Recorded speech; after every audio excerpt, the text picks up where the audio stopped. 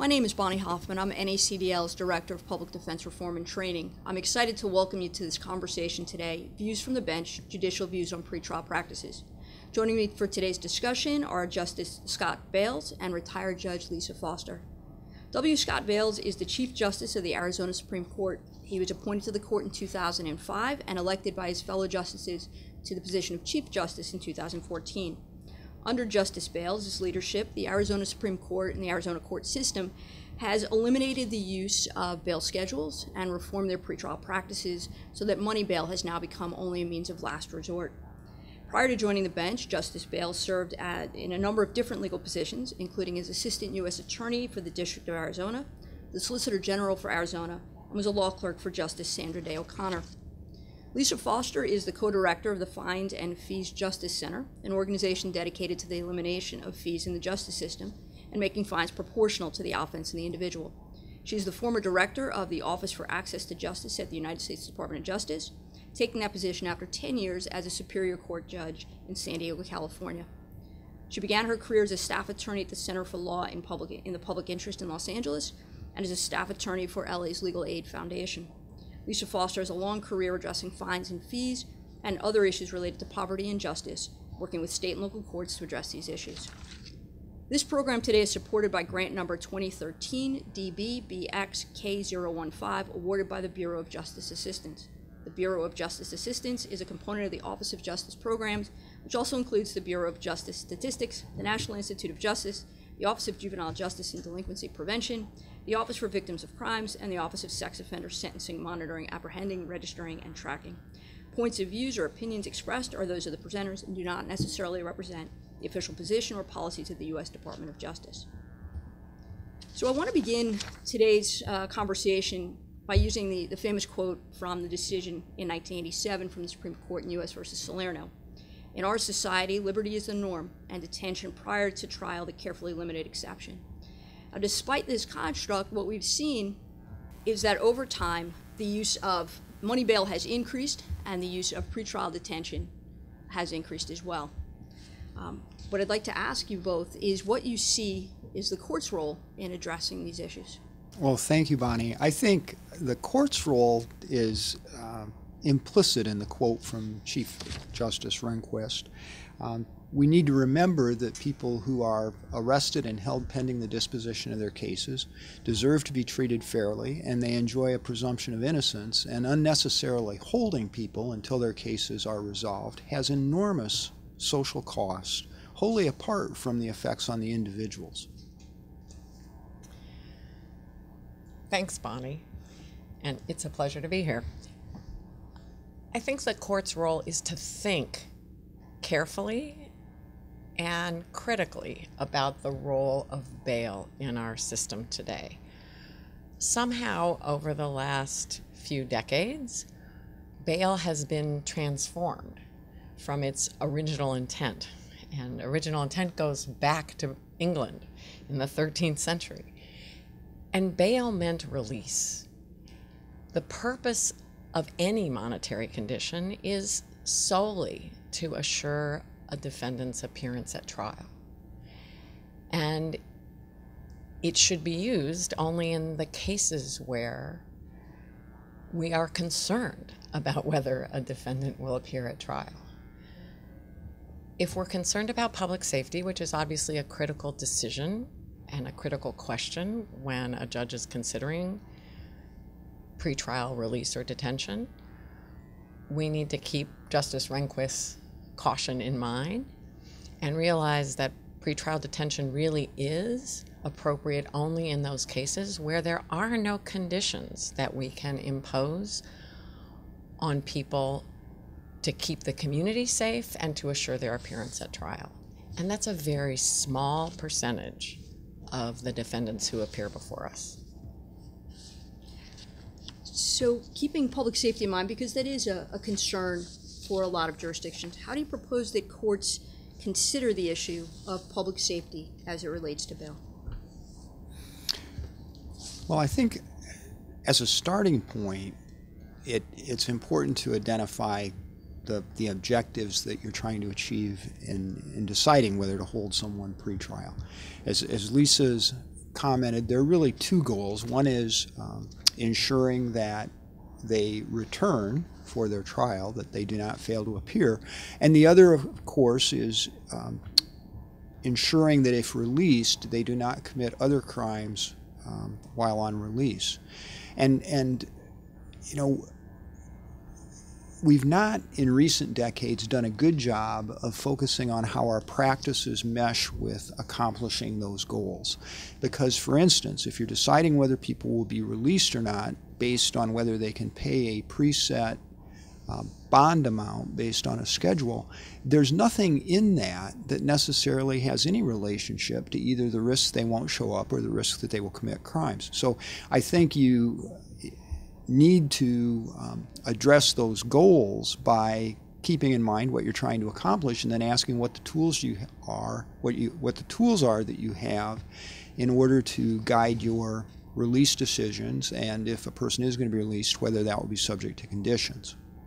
So beyond protection of society are there some real consequences for individuals who are being held in pretrial detention Absolutely. There are both consequences to the individual and consequences to the community at large. Um, with respect to individuals, the consequences can be severe. As, as little as three days in custody can cost someone their job, their housing, and even their children. Uh, most, of, most people, if they miss a day of work, can call their employer and say, Sorry, I had to miss a day, there was an emergency, and keep their job but two days, three days, a lot of people will lose their job. And that has an enormous cascade of consequences, particularly for folks who um, are often low income people to begin with, because of course the only people who are being held pretrial are people who cannot afford bail. And so they are at greater risk of, of losing their job and of suffering um, enormous economic consequences. If you lose your job, you can lose your housing. Women, um, for example, um, who are single parents, may lose custody of their children as a consequence of pretrial detention. And we know that the growth population, unfortunately, in our jails and prisons today are women. But women are most likely to be in jail for a non-violent offense or being charged with a nonviolent offense, and they are less likely than men to be able to make bail. And that disruption in a family's life has enormous consequences. Um, in addition to that, are there consequences in terms of the case impact themselves? What happens to people held in jail and, and how their case outcomes may be different than those who are able to post bond? Well, there's data uh, indicating, and this isn't really a surprise if you think about it, that uh, people who are detained pending the disposition of their cases um, are more likely to plead guilty. Uh, there's data suggesting that they, uh, for a given level of offense, are likely to receive a longer sentence. And um, there also, troublingly, is, is data suggesting that those individuals who are held pending the disposition of their cases um, may even have a greater likelihood of committing another offense when eventually released. An, another uh, fact is it seems that those individuals are more likely to receive uh, sentences of imprisonment as compared to individuals who are released pending the disposition of their cases. So, in short, it seems like they are um, likely to suffer more severe consequences for a given offense level than those who are released pending the disposition of the case. Let me also add that the impact on communities is great. Again, if we're concerned about public safety, um, what we know is that compared to those who are released within 24 hours, low risk defendants who are detained two to three days were 40% more likely to commit new crimes while they were released than those who are released. And that number holds depending on the number of days that you're in custody. So we are actually causing more crime by detaining people than we would if we released low risk defendants. And there's another consequence to communities that I think it's important to emphasize, and that is that paying bail bonds extracts millions of dollars from low income communities. In Maryland, people arrested between 2011 and 2015 paid combined bail premiums of $356 million. And 75 million of that were in cases where either the charges were dismissed or the defendant was acquitted. Communities don't get that money back. That money goes to bail bond companies and insurance companies. And if you think about what $356 million could buy for, a, for low income communities in Baltimore, um, in Maryland, it's, um, you begin to see what the costs are to, to those people and to the mothers and brothers and girlfriends of folks who are incarcerated. Well, and there are also significant costs to the community more broadly because when you unnecessarily hold uh, large numbers of low risk um, defendants in jail pending the disposition of their cases because they can't pay a um, money bond. Those are very large costs to the public. I mean, literally um, millions of dollars, uh, at least in the jurisdiction I'm most familiar with, are spent every day uh, holding people in jail who don't necessarily pose significant risks of flight or a um, new criminal activity if they would be released. And that's money that the pub, those are costs the public bears that could be better used for other purposes. Without question, we're spending about $14 billion a year in the United States on pretrial detention. The most expensive pretrial supervision one could imagine is less expensive than holding someone in jail. And when you think about that, the costs that imposes pretrial detention imposes unnecessarily on the individual and the community, then the cost benefit is really um, weighs heavily in favor of pretrial release as the default and pretrial custody the carefully limited exception. Well, a lot of people would say, though, having money on the line, so I've paid my bail money, and with that, I now have a financial stake in showing up to court and staying out of trouble, is the mechanism to assure that people come to court and people you know, stay out of trouble, maintain good behavior while their cases are pending. Is there a, a, reason to believe that that's not that shouldn't be the case? Well, it's certainly not the case with respect to main, to good behavior while you're out, because bail bonds aren't forfeited if you commit a new crime while you're out on bail. The only reason that a bail bond is forfeited is if you fail to appear. So at least half the equation, it just isn't true. With respect to failure to appear, what we know is, in fact, the statistics uh, that Scott cited about um, the risk of uh, committing a crime while out on bail are true for failure to appear as well. That is, low risk defendants are less likely to appear the longer they're held in detention pre-trial. Is that connected to some of the concerns you expressed before regarding employment and connectivity and, and housing stability and some of the, the access to resources? Sure. If, if, if you've been held pretrial and you were at risk of losing your job while you were in jail, you might miss court because you're afraid that you're going to miss you're going to lose your job if you show up for a court appearance. But also people's lives are complicated. And we all sometimes miss appointments, and it, there's no reason to think that that's uh, that a bond is necessarily going to assure that someone appears in court. Justice Bale, one of the things you had mentioned is Arizona has moved away from the use of bail schedules, but that is a fairly common practice in a lot of places. Can you describe a little bit about what it was like to make that transition away from bail schedules and what some of the harms are of using bail schedules to make decisions about bond? Well, in, in Arizona, we were very interested in trying to use evidence based practices to um, better achieve our, our goals in terms of public safety and assuring appearance. We realized, based on local data and national data, that whether a person could come up with a fixed bond amount had no relationship to the risk of flight or the risk of new criminal activity. We knew anecdotally, for instance, of circumstances where an individual charged with trespassing because they were homeless and they slept in a bookstore parking lot would languish in jail for several days because they couldn't come up with a few hundred dollar bond. And in contrast, in the very same jurisdiction, an individual charged with aggravated assault against his domestic partner was able to be released within hours uh, because as a professional athlete, he could easily come up with a $25,000 bond. So the bond schedule um, illustrates a major flaw in using monetary bonds to make release decisions. That is, uh, people who pose little risk are held simply because they don't have access to money. Conversely, people who may pose greater risk um, by the fortuity of having access to cash get out. And what we did uh, in Arizona is we, through a series of pilot projects, began implementing um, the use of risk assessments.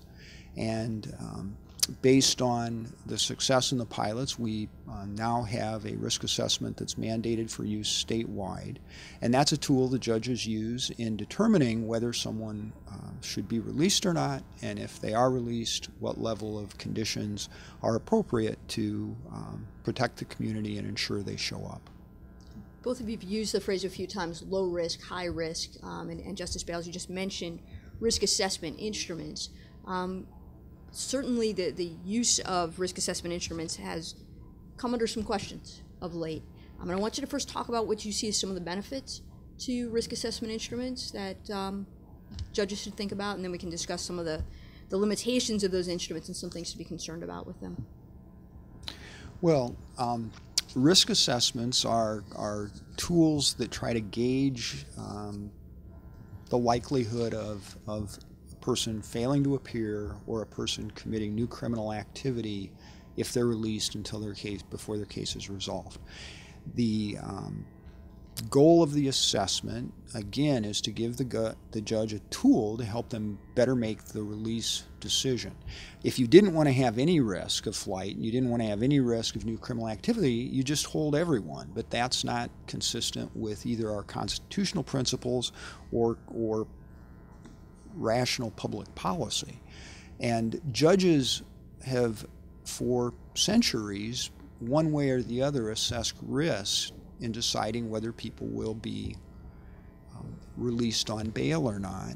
Um, what risk assessment tools do is they try to ground the um, assessment in objective empirical data and in assessment tools that will be applied uniformly across judges.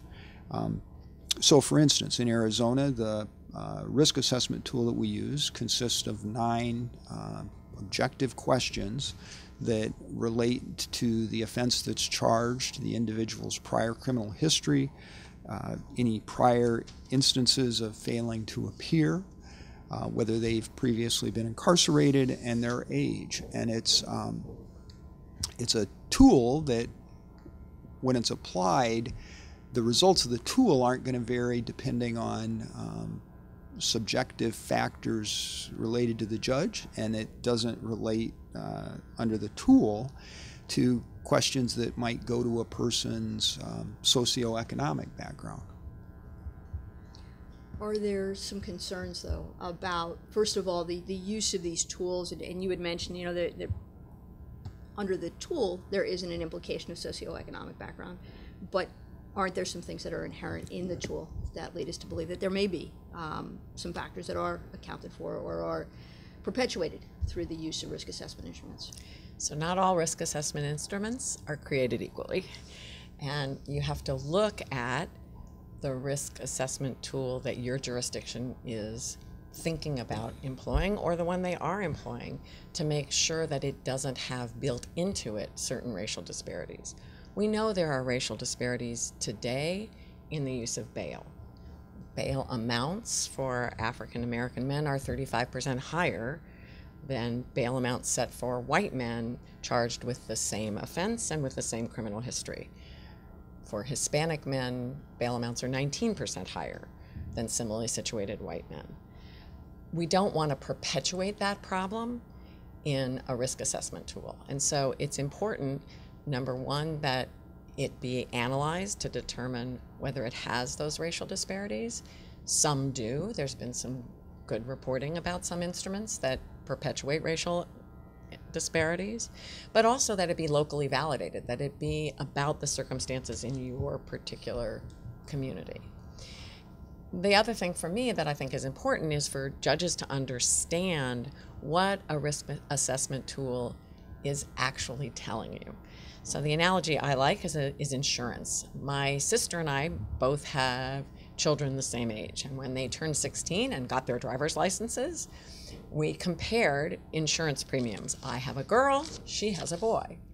And her premium for her son for driving was 50% more than mine for my daughter. Now, why is that? It's because the insurance company used an actuarial table that predicts that boys are more likely to be in an accident, teenage boys in particular, than teenage girls. Now, that doesn't say anything about her son or my daughter, and which of them is actually a better driver or a safer driver. It's just an actuarial prediction. That is, in effect, what a risk assessment do- tool is doing. It's taking someone like the defendant in front of you and giving you a prediction, but it's only that. And justice is an individualized assessment. You can use that tool as a judge to help inform your decision making, but if you rely on that alone and not take into account the person standing in front of you, you may make an error in either direction, either to release someone who may not be appropriate for release, or more likely to detain someone who shouldn't be detained we tend to think when the risk assessment tool comes back and says high risk, that that means the person should be detained. When in fact, if you understand the data, it actually doesn't really mean that at all. Most people who are high risk are really at very low risk of ever actually committing a crime while released. It's just that they're at higher risk than someone who comes out on the low end of the scale. So, is there a role then um, with the instrument for advocacy? If, if the instrument is giving you this information and categorizing individuals, um, what role, if any, do you as judges see the advocates play in the courtroom? Well, I think there definitely is a role for advocacy because, as, as Lisa has noted, the, the assessments are in some ways analogous to the actuarial calculations that are made with respect to insurance. So they're making generalizations about patterns of large numbers of people. Um, and whether a particular case c- corresponds to that pattern or not can can be argued and indeed should be argued. So, uh, for example, most risk assessment tools recognize that age is a factor generally in terms of the likelihood both that a person will fail to appear and a person will commit um, other criminal activity if released. But you can certainly well imagine why a particular individual, although younger, may not in fact present greater risk as compared to others, and that's the kind of thing that effective advocacy should address and that judges should consider. So, is there though some concern, um, given that some of the things that are considered in these risk assessment instruments include things like age at first arrest, number of arrests, number of court contacts, especially given what we know about the over policing of communities of color um, and those who, who tend to be in poor socioeconomic conditions? And is there a role that the court can play in taking that into account and making some of these decisions when faced with a risk assessment instrument?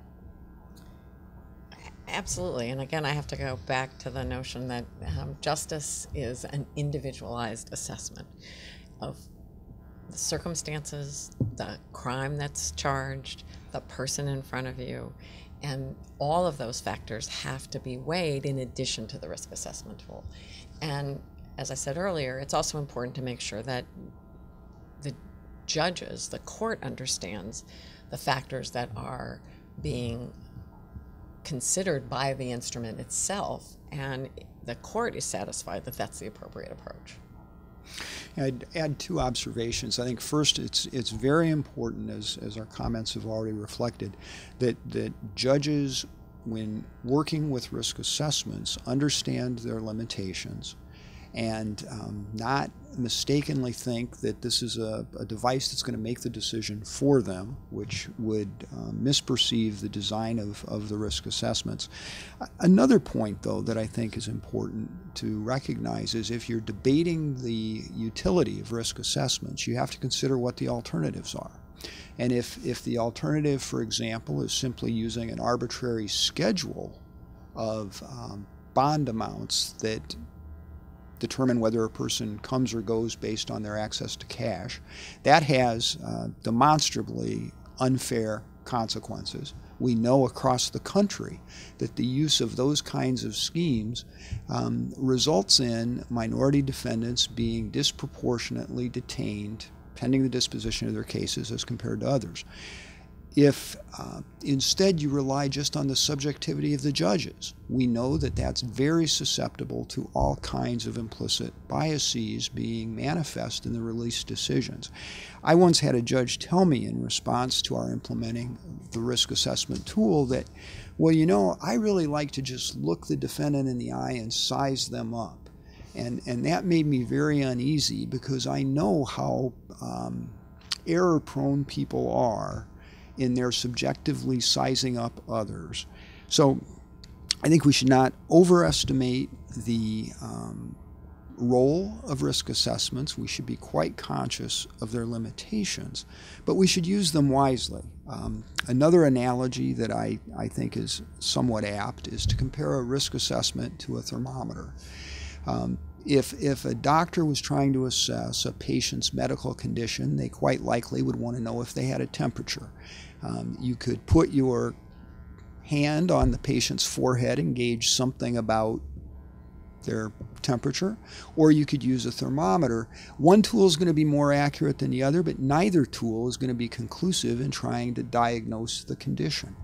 And, and I think um, if we recognize the limits of risk assessments, and we're quite um, conscientious in trying to continually validate them and assess how they're actually working in practice.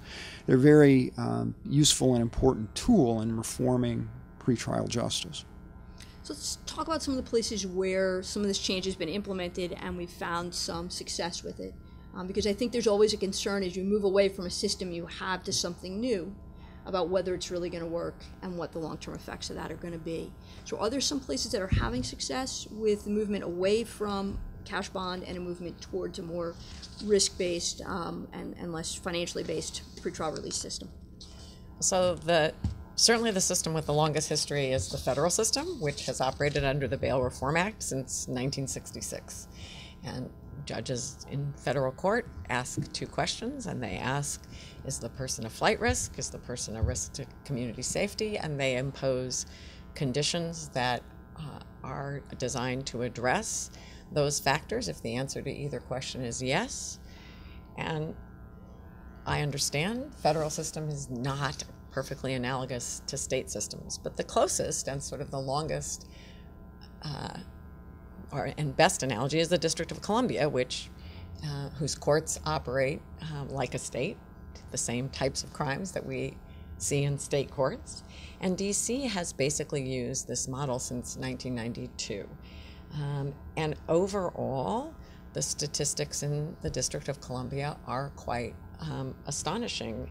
In 2017, 94% of defendants arrested in the District of Columbia were released. 88% of those made every single court appearance. 86% were not rearrested. And of those who were rearrested, less than 2% were charged with a violent crime. That's a pretty good success story. And it's been one that, as I said, has been um, in operation since 1992. Um, but there are others. Um, we've just seen reform um, enacted in Santa Clara County in California, where now they have fewer than 1,400 defendants detained pre-trial in the first six months. Um, and the county saved $33 million, just coincidentally. Um, 95% um, of those released made their court appearances, and 99% were crime free while they were released. those are really great stories, and we're seeing um, Arizona's good results as well as states that have um, uh, also enacted bail reform recently, like New Jersey, which has um, comparable statistics.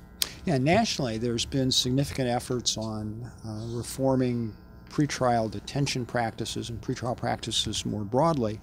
Um, Lisa mentioned New Jersey, where under Chief Justice Stuart Rabner, they've, uh, over the last several years, uh, effectively eliminated the use of, of money bonds and significantly reduced their uh, population of people being held pre-trial, um, and quite effectively. Uh, they've uh, been able to manage the um, risk of, of non-appearance or criminal activity. And, and even before then, um, you saw efforts in Kentucky, for example, which eliminated the use of um, money bonds decades ago and has been very successful in um, its pretrial justice reforms. But if you go back to one of the things we talked earlier about, the consequences of unnecessarily holding people pre-trial, and, and you realize a state like Missouri, or not a state like New Jersey, um, has reduced by thousands the daily jail population. That translates into not only liberty for those individuals, which is vitally important, but it also translates into less crime. Um, it translates into reduced costs to the public for jailing people. It translates into people being better able to hold their jobs and to keep their families together. So let's say you, as a judge, right, are convinced this is the right way to go. Um, we need to move away from money bail. We need to move away from bail schedules. Um, how do you, as a judge, as a justice, as a court official, bring about that kind of change um, and get buy-in from other system actors who may not be as open to this? Well, you have an expert before I do. Well, I, I think if you're if you're going to work in this area, it's it's um, important to articulate what it is you're trying to accomplish, and that's why the the quote by Justice Rehnquist um, is repeated in, in different forums. Um, we we have to start from the recognition that we're talking about people who've not been convicted. They've been charged with an offense, but they enjoy the presumption of innocence and they deserve to be treated fairly in our justice system. Um, we also need to recognize how many different consequences unnecessarily holding people in jail has um, for the community in general. Um, to, to affect change, I think if you point out to people we are unnecessarily spending money in ways that increases rather than reduces crime. That tends to get people's attention from whatever perspective they look at criminal justice issues.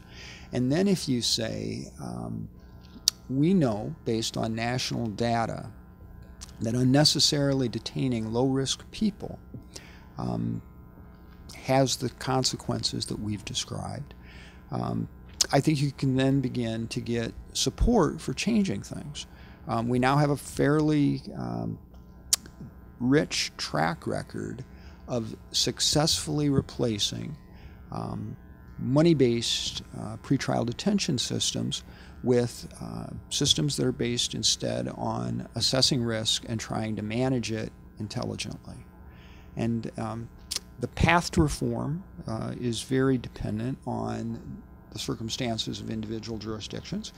In some states, uh, reform has taken not only statutory change but constitutional amendments. Um, New Jersey is an example. Uh, New Mexico, under the leadership of Chief Justice Charlie Daniels, is another. Um, but in other jurisdictions, you can accomplish a lot through administrative orders and rulemaking and education of court personnel. So can you walk through because that's that's the process that you used in Arizona. Can you walk folks through how you were able to accomplish some things? Because there's often, I think, a, a concern from the judiciary.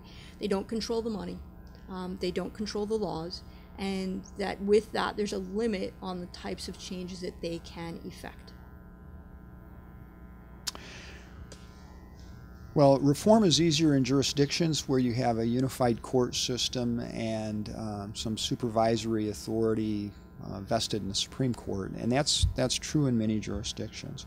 Um, to affect change in a real way, you have to convince the the trial court judges who are making release determinations that changing um, old ways of doing things is a good idea, and I think. Um, judges generally are committed to the ideal of, of um, equal justice under law. And once you explain to them that we have better tools to help them make the decisions fairly, once you show them the uh, evidence, you um, reaffirm through training and through supporting their efforts through things like pretrial services. Uh, I think getting the buy-in by the judges is is something that's generally speaking um, easy to do. A, a different problem you mentioned is, is the money, uh, and that often relates to how budget decisions are made at the local level. Um, to reduce um, the number of people detained effectively may require greater pretrial services, and that may come out of one budget bucket that's different than the bucket that pays for jails. Um, in our experience, if you went to um, municipal city councils or the county boards of supervisors and explained how, in terms of the county wide budget, you could actually save money by reforming pretrial practices.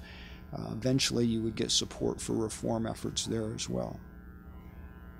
So, one of the concerns I think that comes up is sometimes the fear that comes as we move away from this, this system, whether you're relying on a bail schedule, whether you're relying on money.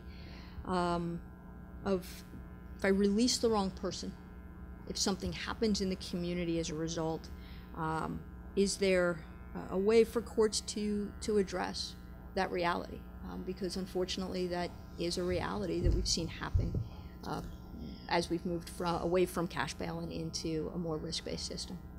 So I think there are really two uh, parts to the answer to that question. The first is is to really look at the data in three out of four criminal cases are misdemeanors where the sanction is a fine or at most a year in custody. In a recent study in Miami Dade County in Florida, the most common sentence for all felonies and misdemeanors is credit for time served. And the second most common is probation. So if we think about generally who who the defendants are in front of us and what the crimes are that they've committed and what the sanctions are, it's less of a risk than people think. But more importantly, we have the same risk now, only more so. Because today the decision about whether someone's released in most jurisdictions or is detained is solely a function of whether that person has money or access to money to make bail. And so we see cases where someone who made bail is goes out and commits another crime and sometimes a violent or horrendous crime.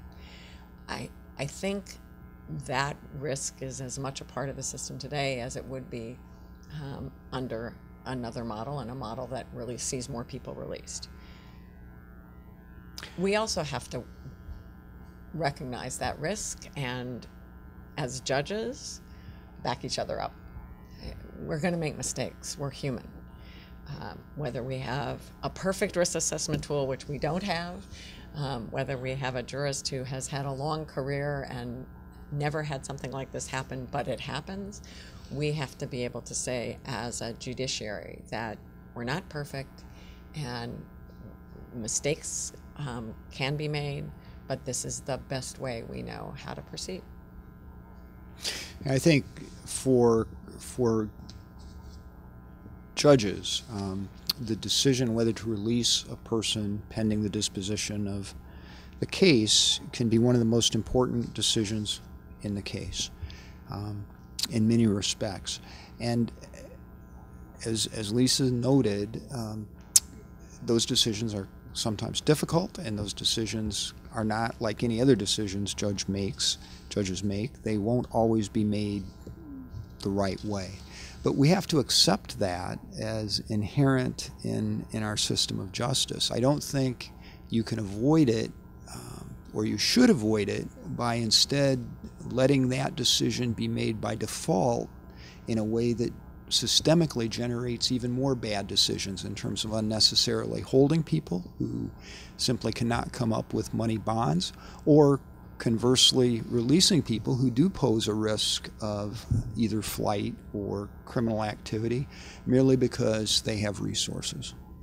So one of the concerns that, that follows then is if we move away from money bond, um, often what we move to is a system of pretrial release with various conditions.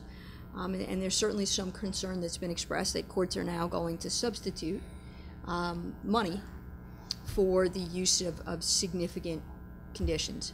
Um, some people would say, how can it hurt? How can it hurt to provide somebody with more structure or more resources or more services? Um, but there's reason to believe that that, in fact, can have, have a negative effect. So I think we have to be careful. Again, I go I go back to the notion of the individual.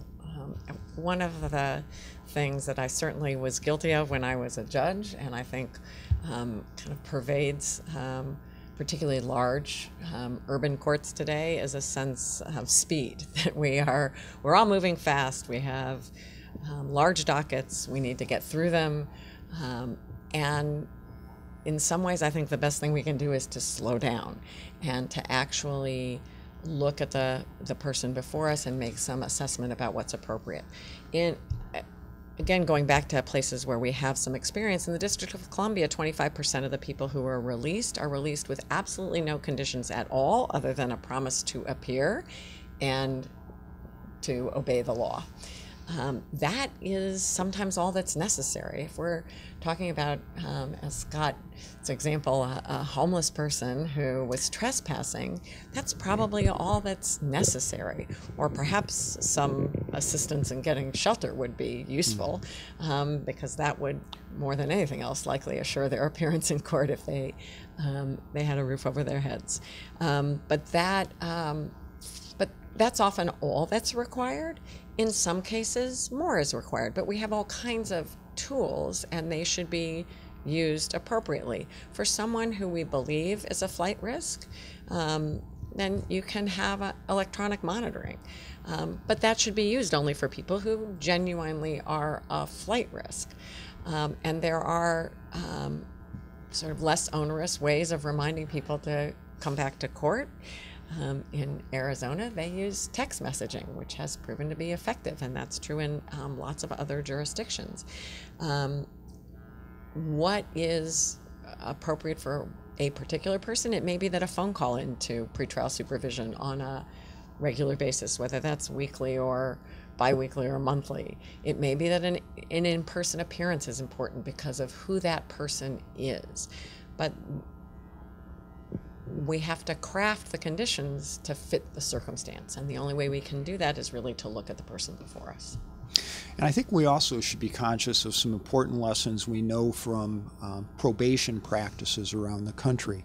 It, it has been shown that unnecessarily imposing conditions on probation can actually perversely make it more likely that a person will be revoked from probation or will in fact commit an offense um, while under probation. And, and somewhat analogously, we know that if you have a person who's on release pending the disposition of their case, you, you don't want to um, unnecessarily subject them con- to conditions that are just going to yank them back into jail because that then is going to trigger the various um, bad consequences we described earlier. So what is important is that you,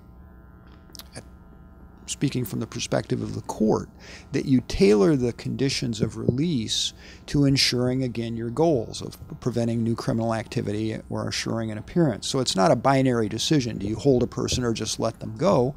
You try to tailor the um, release decision to the circumstances, and that will promote justice and better achieve the, the goals of public safety. Is there also a concern? There's a finite number of resources, right? Whether whether we're using them for incarceration or we're using them for pretrial supervision, is there a concern when we over service low risk, low end offenders that what we do is we actually take away resources that we could use to better serve those those individuals who may pose a greater risk or who may actually be in need of greater services? Sure. I mean, we there, there's always um, a dollar spent unnecessarily um, is a dollar wasted, and we shouldn't be doing that. Um, we should think about both um, spending those dollars in more appropriate ways, providing what I think all of us recognize would um, immensely help public safety, which is providing mental health services, providing drug treatment services for many of the folks who appear before us, that is going to address the underlying cause of their criminal behavior and keep us all safer. If we can spend those dollars there instead of in pretrial detention or instead of overconditioning, we'll be better off. Does that come from taking maybe a little more holistic view of funding for our criminal justice system as opposed to the system we tend to see right now, which is that there are silos of money? a county may pay for the local jail, but the state may pay for an inmate in a, in a prison, or um, the county may be responsible for policing, but the state is responsible for the attorneys. And, and so we don't have that ability to really effectively manage what the costs of one part of the system implicate on another part of the system.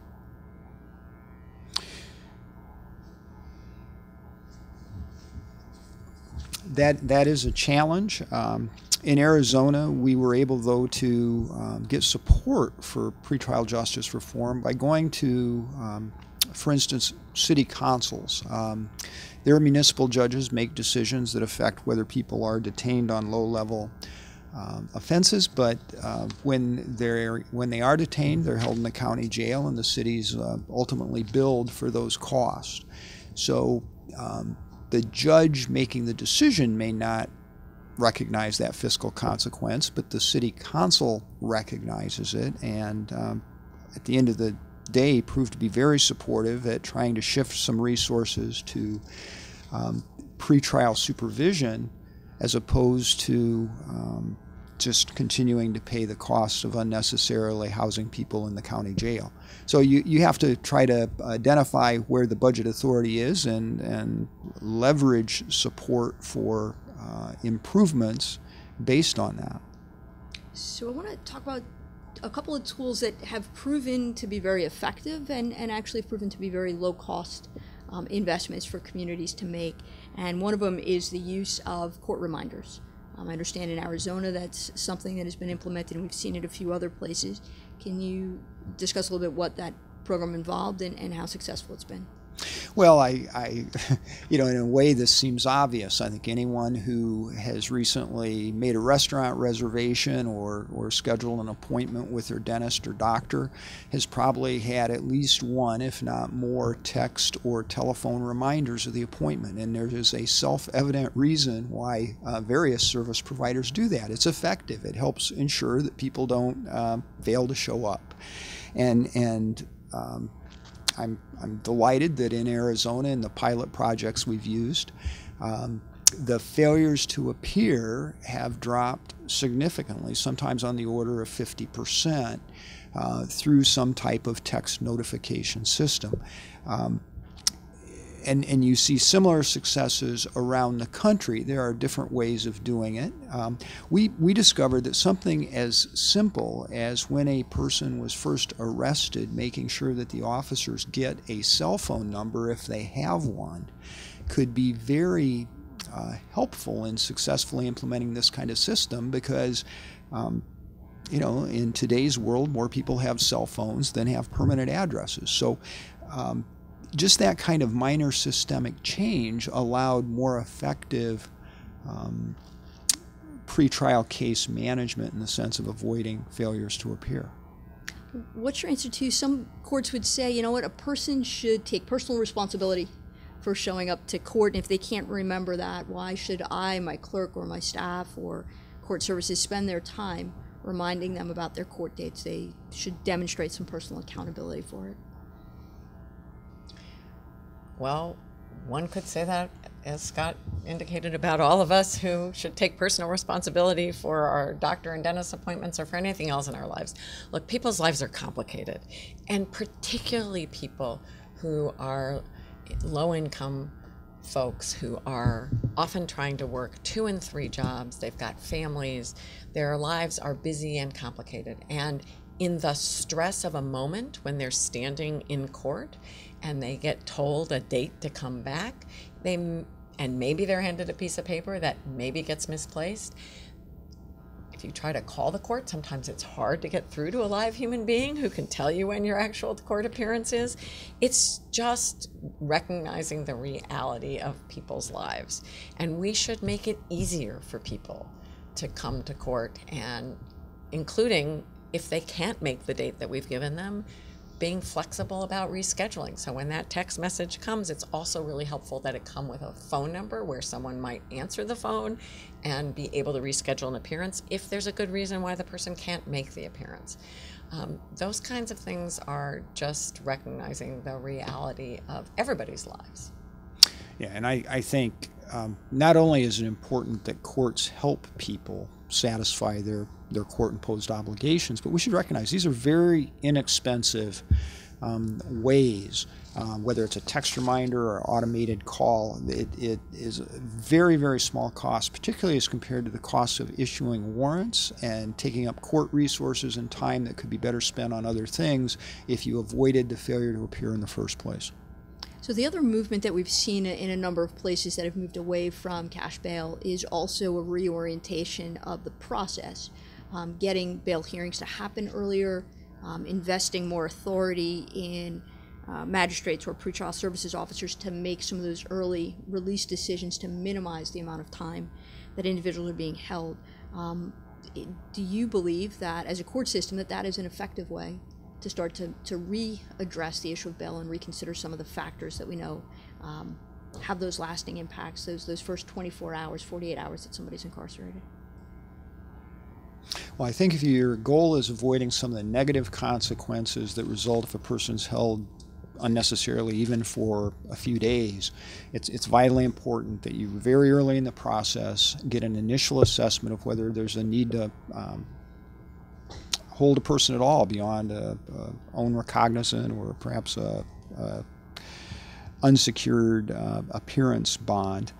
Uh, if there is going to be a determination that, for instance, they're potentially non-bailable, that hearing then should follow as promptly as possible, and, and there should be an opportunity to um, litigate the issues where the defendant has the assistance of counsel. And again, this is to ensure the fairness of the process and to avoid um, are basically creating um, the very problems people would say pretrial detention is is meant to avoid. That is the recurrence of crime and a failure to appear. And I think with respect to authorizing the release of low risk defendants, many jurisdictions do that de facto today, but the authorities with law enforcement. So in, in many places, law enforcement has the option of citing and releasing someone when they give them a, a, when they arrest them for a misdemeanor or they bring them in. And having a system that actually looks at the nature of the offense and has a more regularized practice i think um, may result um, in better changes to that system. So the last part of this is once we've implemented those changes um, is there a need to continue to evaluate reevaluate um, collect data to reassess this, the, the changes once they've been made. Without question, data is what I think got us to this point. It's the recognition that there's a problem with the current system is one that has been data driven. We've relied on it today, but courts have been relying on it all over the country, and um, that's critical. And it's important to look at how our systems are performing, how what how many people are actually being released? How many of those folks are making their court appearances? How many of those folks um, are obeying the law while they're out? Um, that data is critical because it then allows us to make necessary adjustments if we're not able to achieve the results that we want to achieve. So, is there in that group, uh, the data we're collecting, the people who are a part of that reevaluation process, are there what you see as sort of key components or key participants to any kind of coalition to bring about and reevaluate uh, pretrial practices? Well, it's interesting if you if you look at the reform efforts that have occurred around the country. There has been support from from people who come at the criminal justice system from very different perspectives. And, and I think that does relate to the fact that when you step back and you look at the data, you see we've had a dramatic increase in the portion of people in our jails who are being held pretrial pending the disposition of their cases. We see um, consistent evidence across the country about the untoward consequences that result if you unnecessarily hold people until their case can be resolved. And I'm talking about the increases in the likelihood they'll commit crime, that they'll fail to appear, the consequences to them and their families in terms of economic and social dislocation. So, whether you look at criminal justice from a um, court perspective or a um, defendant's counsel perspective or a victim's perspective, I think people uh, can readily agree that the old ways of doing things in this arena aren't working and that we ought to assess what our goals are, what are better tools to reach them. And as we implement reforms like um, risk assessment tools, we should be quite conscientious in checking how we are doing as we go along and trying to identify better ways to accomplish our goals. And I think just as, as a final note in that regard, it's it, it's important to bake the data collection into whatever reform you're making. It has to be there at the outset, not something that a year or two years into a program we think, oh, we should be collecting data about this. It should be part of the reform and capturing the, the points that we think are necessary and involving the broader criminal justice community in that conversation. So when we're talking about reform, it's important to include prosecutors and public defenders and law enforcement and the county or city that's paying the bills in the conversation and in determining what are the important data points that we need to be sure uh, we capture in order to evaluate the system. So, in a sort of set of closing remarks, are there things that you feel you'd want your fellow judges, your fellow justices, um, to, to think about when it comes to making this move in moving away from cash bail and moving to a, a non cash bail system? I think for me and for many judges, we view the justice system as just that it's a system. And like any system, those of us who are players in it tend to think that the way things are today are the way they have always been and the way they should always be. And I think if we have an honest conversation about pretrial detention, if we ask ourselves, what are the goals we're trying to achieve? And can we do this better than we're currently doing it? We will shift our perspective and recognize that the system we're in is not doing a very good job and we need to fix it. And that's a hard conversation to have. It takes a willingness to engage, to look at data honestly and critically. But I think when we do that, we will make changes.